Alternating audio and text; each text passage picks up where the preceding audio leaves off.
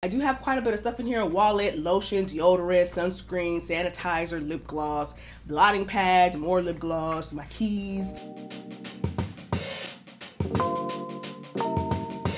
Hello, hello, welcome back to my channel. In today's video, I'm going to be going through my fall handbags that I will absolutely be reaching for this season. So let's just get right into it. Now, the first bag is actually a newer one, it's still in the packaging. I just received it. The reason why I already know I'm going to be wearing this is because it's black. it is a black bag, but it's this like smooth black leather bag in this really nice like kind of triangle shape. Look at this bag, y'all. Look at this bag. Look at her.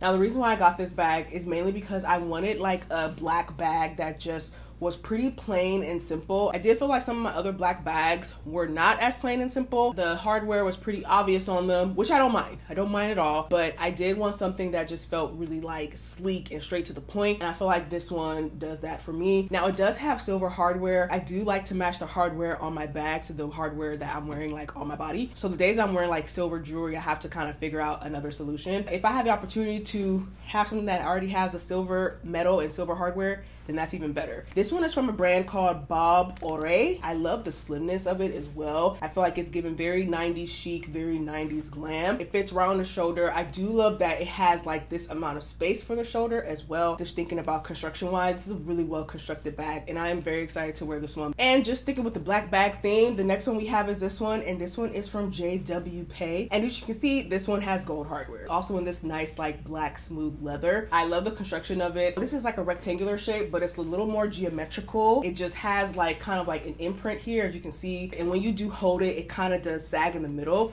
which is a preference. I do like that it's a bit more, it's not as structured as the other bag, but it does have like a good amount of space in here. I actually have all my stuff in here right now. I do have quite a bit of stuff in here, a wallet, lotion, deodorant, sunscreen, sanitizer, lip gloss, blotting pads, more lip gloss, my keys. This bag fits a good amount of stuff. It is your traditional shoulder bag, so it does fit nicely and hugs right underneath your shoulder and your arm. This is also kind of giving me 90s glam, very 90s model off duty. My sister had this bag like a year-ish and a year and a half before I copped it from her and it's still in really good condition. I've already worn this so much since she's given it to me and it's just gonna be worn again and again and again. Next we have my Brandon Blackwood Jasmine bag. Ah, I love this bag so much. I've talked about this bag in other videos and it's in this nice like smooth oil leather. It does have like a good amount of shine to it and it has kind of like this crinkly sort of like oily leather situation going on. And of course this does also have gold hardware detailing and I love that it kind of just looks like a telephone case. It looks like one of those old school telephone cases and they did do like an advertisement where it, they basically played off of that which I thought was very good. I love when a brand knows how to do good advertising like beautiful. But it has the B their like signature B kind of like clasp here, which they have on mostly all their bags. And it is a top handle. The handle is only on one side. And then it also does come with a crossbody. Has a good like long crossbody strap. I don't know what it is, but these work really well with like skirt type of outfits, mini skirts, maxi skirts, dresses even. She gets her moment fall winter for sure. Final black bag for this video is this one. And this is my little Bottega dupe. I think this is actually like a really quintessential kind of bag. I mean, I know everybody has it and I do not care. And the reason why I wanted to include this one because I know that I will be gravitating towards it. And you're like, girl, you already featured three black bags. Why another black bag? For a number of reasons. This one is literally top handle only. So I feel like this is one that's perfect for like a going out situation, going out kind of vibe. On top of that, the leather is very matte. Like I have some boots that are kind of like this sort of matte-ish leather. Even though this bag has gold hardware, like it's right here, you can't really see. You can't really see that. You can't really see that at all. To me, this is sort of just like a matte black bag. Like I mentioned with the first bag, sometimes I just don't want to see any hardware. Like I just need like a kind of really straightforward black bag. And the difference between that one and this one is that that one is a shoulder bag, kind of like every day, quickly put on. This is not something that I will wear every day just because it's strictly a top handle. Like I can only hold it like this. The structure of it, the shape of it, and the use of it. It's just one of those bags that just works. It works and that's why people have it. That's why everybody got it. Now that we are done with our black bags, let's move into our colorful bags. Put that in big quotes, colorful. Should be no surprise here, my Gucci Horsebit. I love this bag. This bag always, always in the fall and winter gets worn down, okay?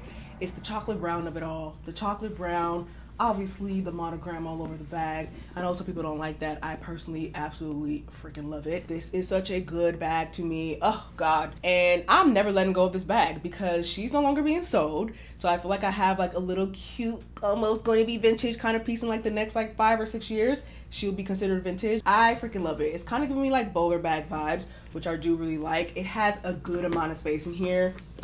Good amount of space good amount of space. And I featured this bag in many other videos, but you know, it's never too much to talk about her because she's that good. She has the gold hardware, which I love. Obviously, this horse bit situation and this horse bit action is my favorite. It also does come with the crossbody. Just prefer the top handle. I think the top handle really works. It's also a great pop of color. Like on the days that I'm wearing all black, and I really want something to sort of stand out against the all black, I pulled this one out. She works really well with my Gucci loafers, which I talked about in my fall essentials video. I love this bag so much. I mean, what more can I say? She will be worn so much this season. So, so much. Okay, now for real, for real, there is some color. There is some color my Coach Soft Tabby. This is also another bag that is no longer being sold in this colorway, so I have to hold on to her. I actually really only bring her out literally in the fall and winter because this color is giving me fall winter. Like I'm looking at my viewfinder to make sure that the color is picking up, and it is. This is the color. It's like this nice mulberry, and this top part is this nice suede, which I love, and then the bottom is um, the leather, and the back is also suede, so it goes from suede to suede here. And one thing I love about Coach is their hardware. This kind of antique gold hardware is one of my favorites and what has drawn me into their bags. The bag also has this kind of darker kind of plum color, which is also different from this color here. So there's like a tri monochrome action going on, but all the colors play really nicely against each other. This color is also the color of the handle. It's just one of those that I just find myself being like, this is too cute. It's too cute to give up. The inside also is nice, this nice suede. So I do appreciate that the inside is so soft to the touch. And then the other side of the inside is kind of like this canvas material. It does come with the crossbody strap because it's so flappy that I feel comfortable just like swinging it around me. It's really cute. Like she's a really cute bag. To be honest, I need to wear her more because there's no excuse for me to not be wearing her more than I should. I actually did a whole um, Instagram video about this bag like two years ago. And that video went viral because of the sound attached to it. I'll play it here for y'all so y'all could see it and see. Anytime I get in my head about spending money, I always have to remember I am single and I have no kids who else am I gonna spend the money on? The sound is just funny to me. I mean, it's my sound. I created the sound. yeah, she's a cute one. She's a cute one. There are some other Coach bags that I'm definitely looking forward to adding to my collection. Okay, back to the neutrals. This one from Senreve. This is their mini Fortuna because it basically can like compress into a fortune cookie looking bag. But I mainly wear the bag as is, as like a true shoulder bag. It's definitely one that works in the springs. To be honest, it works for every season now that I think about it. I've worn it spring, summer, fall, and winter, but again, one that I can find myself reaching towards in the fall. It does have gold hardware, but what I really love about it is the chain detail on this. Like the chain on this is really nice. It's strictly the color of the bag. There is no gold detailing on the chain at all whatsoever. I feel like it just adds like, you know, a little extra flair detail to make this bag pop a little more. The chain is detachable. I'm always gonna wear the chain with it because I that's just my style. I feel like it just adds a little edge to somewhat of like a more daintier kind of simpler sort of bag. And it does have a good amount of space in here. The shoulder strap is wide enough fits snugly underneath the arm. I think that this works with like browns as well. When i'm wearing like a brown colored palette even the greens and the deep greens blues this color works really well. Which is why i have so many bags that i will be gravitating towards reaching for because there's different color palettes i like to wear in the fall season and i want to make sure that i got the bags to match. So yeah this Senreve one she's cute Next we have this one, my by far baby Cush in gold. This bag is also no longer being sold. I love this bag so much. Now this is definitely more of like a statement bag, but I don't reserve this just like going out. This is a bag that I would wear casually, especially if I'm wearing like a simpler outfit and I have my gold jewelry and I want that gold to sort of stand out a little more. I'll bring out Miss Baby Cush to do the job. I love this shape. Again, it's kind of like this crescent shape and it has like this handle that's reminiscent of like the little Bottega dupe. And it also has a chain detail. There's a kind of similar theme being threaded throughout all these bags. Like you can kind of see my style when it comes to bags and what kind of bags I like, what kind of shapes I like, what style I like. Obviously it's all gold. Everything on this is gold. There is no other color on here but gold. And it has like a cute little dip here. I don't know. It's, it's just such a good bag. And then this bag, I actually just received it in the mail, and it's from a black owned brand, Khloe Modhouse. And as soon as I got it, I was like, yeah, I will be wearing this this season because I just mentioned that I've been loving silver how beautiful is this bag?